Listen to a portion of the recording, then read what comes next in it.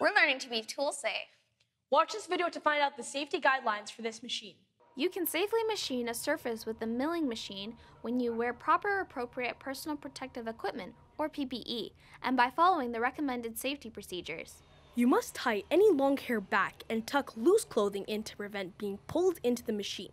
Do not wear rings or jewelry as they can also get caught in the machine. You must always protect your eyes while in the shop.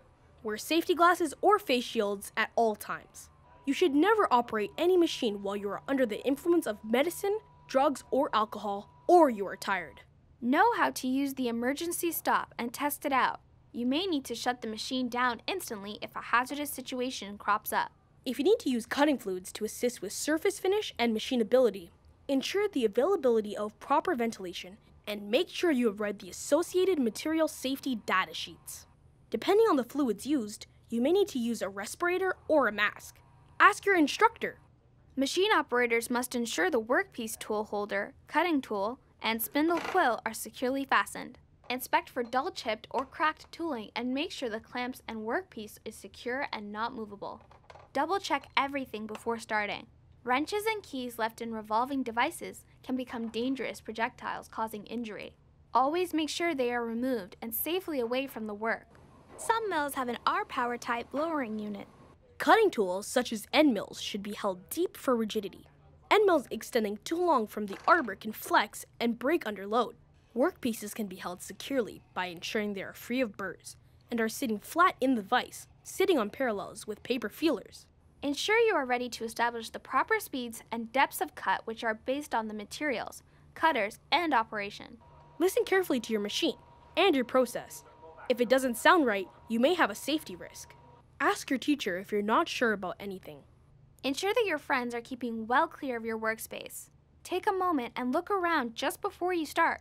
Stand in a stable, smart, ergonomic position. You can protect yourself and others from dangerous, hot, and sharp cuttings and accidentally broken cutters by using available guarding. Make sure guards are tightened and positioned correctly before starting. Especially if automatic feed is used, start cutter rotation and feed from a distance well clear of the workpiece to prevent sudden and unexpected impact.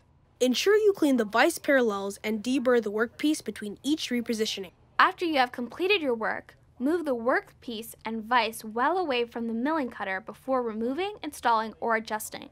Do not work around the spindle while it's still revolving. Wait till the spindle has come to a complete stop.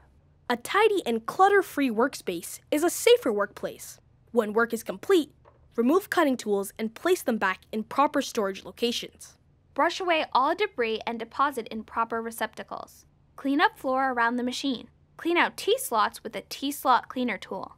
Wipe clean all parallel bars, clamps, tooling, and put away in designated storage. Also, wash your hands properly after working in the shop so you don't get any metal debris in your eyes or on your skin after you leave. Remember, don't take any shortcuts and follow all recommended safety guidelines to ensure a tool safe experience. Ensure you are using your PPE and thinking about dangers from loose hair, jewelry, and clothing. Check MSDS for cutting fluids and whether you need a mask. Double check and securely fasten workpieces, tool holders, and cutting tools. Use guarding. It protects you against injury from flying cuttings, broken tool bits, or workpieces. Ensure your spindle quill is locked and wrenches and keys are removed from the machine before starting. Start cutter rotation and feed well clear of the workpiece.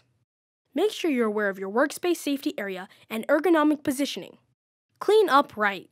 And if you're not sure about anything for safety, ask your teacher for more direction. And don't forget to be tool safe.